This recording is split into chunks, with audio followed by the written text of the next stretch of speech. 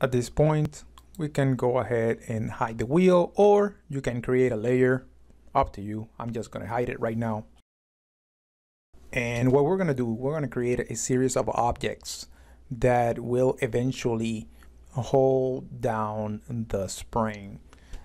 So we're gonna start creating a cylinder, poly cylinder that is. And the first thing I wanna do is kind of match it with my reference. I'm gonna go in my front view show image plane. And we're going to use this as a reference for our springs. So we just want to make sure that we have a good sense of the actual size. I got to make sure that it looks good in all angles. Not that good. Let's fix it. All right, so that's a bit better. I'm gonna translate back to the zero origin point.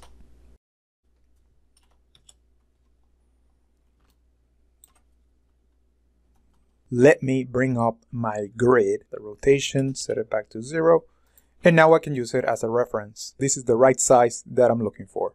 I'm gonna increase that radius on the inputs. Now I will duplicate this object Control D. And I'll create a shorter version of it.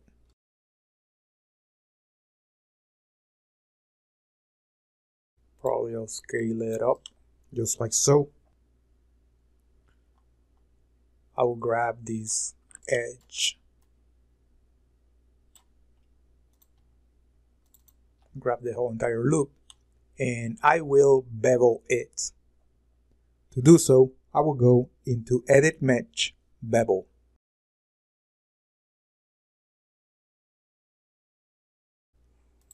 And I can come here and play with the offset.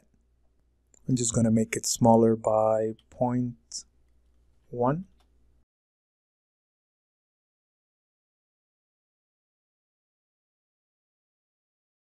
I'll place it about there. I will bring now another cylinder going into the inputs, I'll change the radius for 0.2, the height maybe 0.1,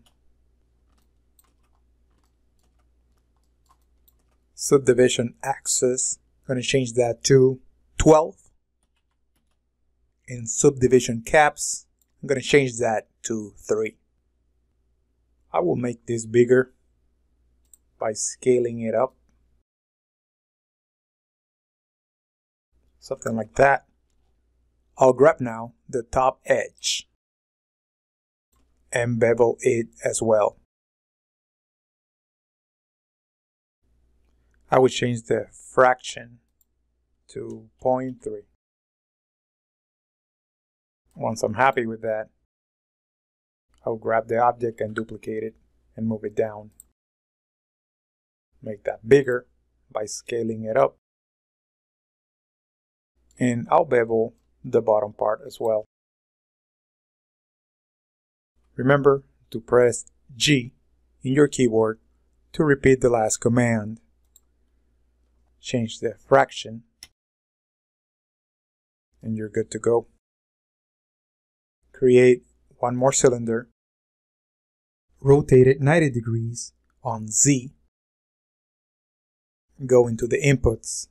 Change the radius to 0.2, change the height to 0.1. Subdivisions, axis, change it to 12. And subdivision caps, change it to 3.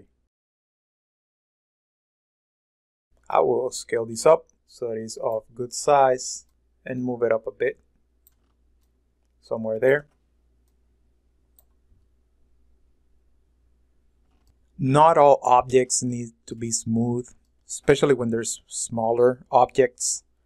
In this particular case, I would not smooth any of these area, but I will have to smooth the top detail. So if I press number three, this is where I currently have, and I want to make sure that those edges look just a bit sharper. Remember to do that by using your edge loop tool.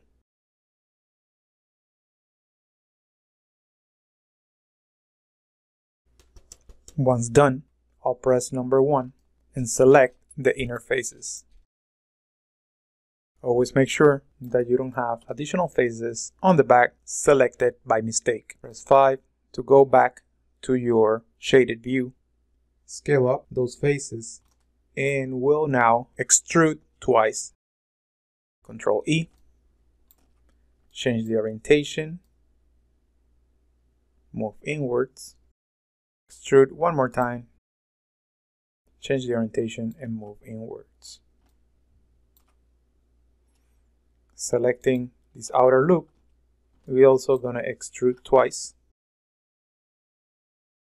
One time and then again.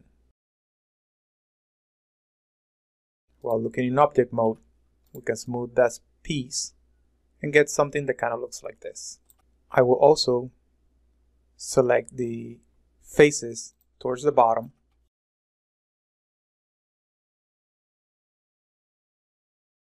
and extrude those downwards. Actually, I'm going to go halfway point and then extrude one more time.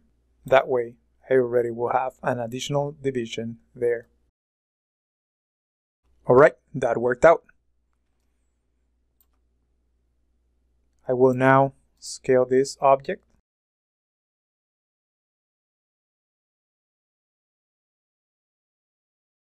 Once I'm happy with that, I will now duplicate my object, rotate it 180 degrees on Y, and bring it down.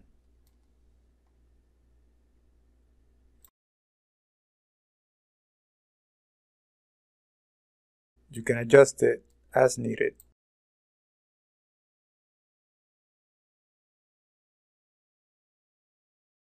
At this point, we're going to add the spring, go into Create, Polygon Primitives, and select Helix.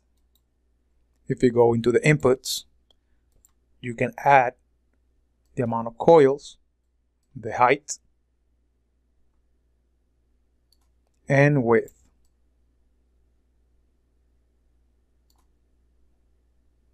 You can also play with the radius.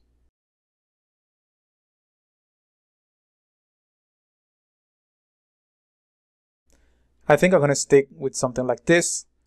Yours could be a little different. You don't necessarily need to follow my values here.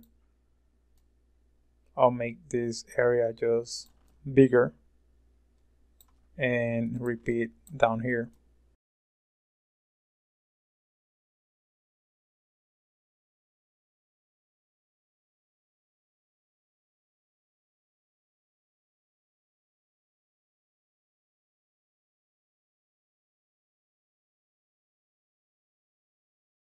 So after playing with it for a while, I think I'm gonna stick with this.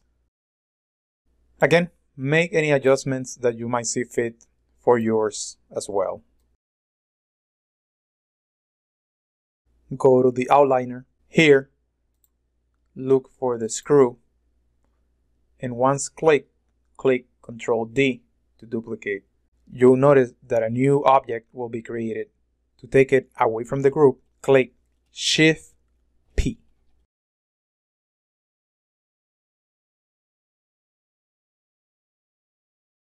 Rotate the screw and put it in place. There should be one at the top and one towards the bottom. Again, adjust accordingly. Select all the pieces and group them together. We can label this group spring.